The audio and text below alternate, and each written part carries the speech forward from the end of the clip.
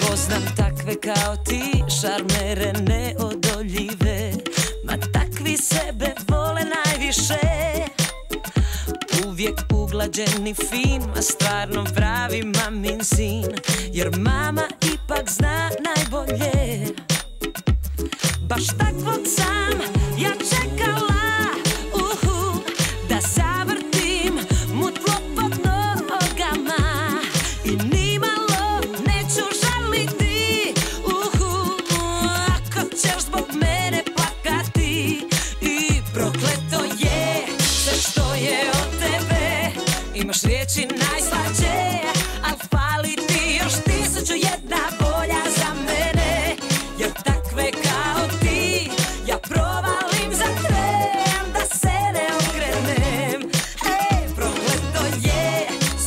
je od tebe.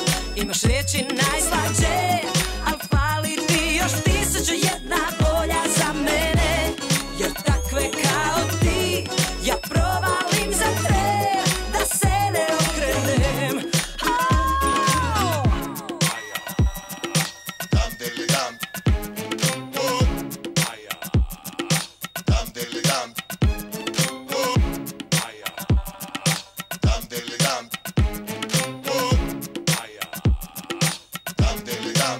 I meni je majka pričala Čuvaj se Nina mangupa Jer takvi znaju lagat najbolje.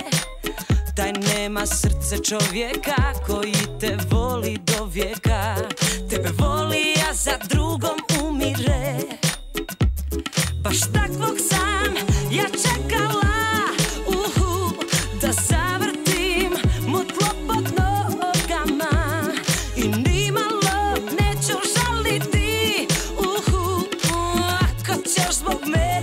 plakati I prokleto je sve što je od tebe.